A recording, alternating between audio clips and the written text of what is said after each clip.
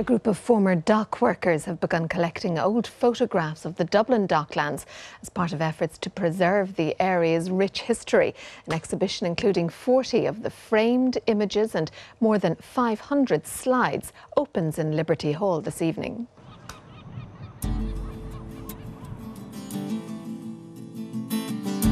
When you went, went onto the docks, it was a way, a way of life.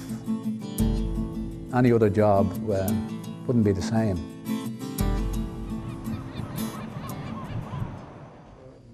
The landscape of the Dublin docks has changed almost beyond recognition.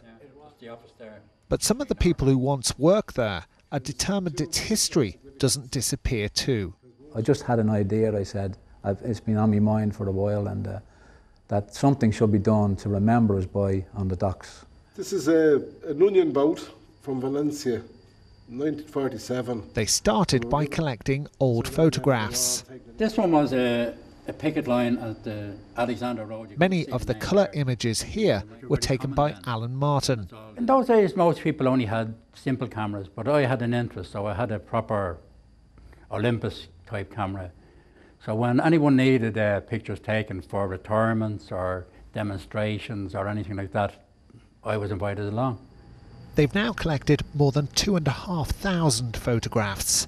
Many will be of particular significance to Dockland families. It was predominantly East Wall, North Inner City, Pearse Street, and Ringsend.